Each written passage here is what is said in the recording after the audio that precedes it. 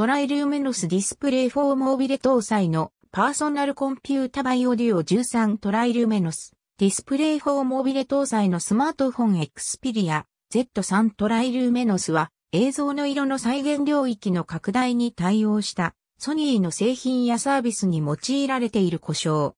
TRILUMINOS はもともと2004年に発売された。ソニー製の液晶テレビクオリア005などに採用された高色域の再現が可能な LED バックライトシステムの技術故障として用いられていた。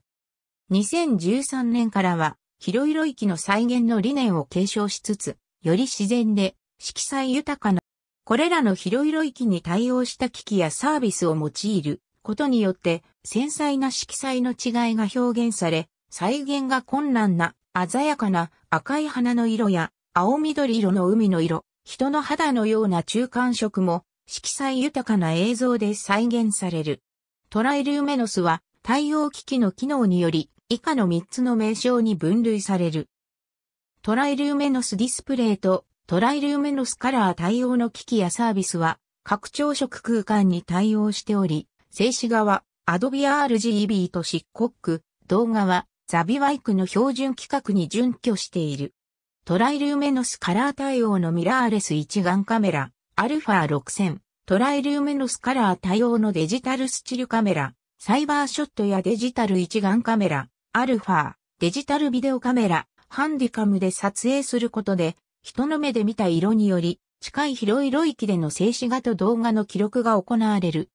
これらのカメラ機器をトライルーメノスディスプレイ対応の液晶テレビ、ブラビアに直接接続して再生することによって、もしくは撮影したその映像をソニーの写真、動画インターネットクラウドサービスのプラメマースオンラインにアップロードして、トライルーメノスディスプレイ対応のブラビアなどで再生することによって、被写体の持つ豊かで自然な色彩と質感がより忠実に再現される。ソニーピクチャーズエンタテインメントのマスタードイン 4K ブルーレイソフトはマスターに 4K 解像度の高画質映像を使用し高ビットレートのフルハイビジョン映像で収録されているのに加え、従来のブルーレイソフトではカットされている広色域情報も保持、収録されている。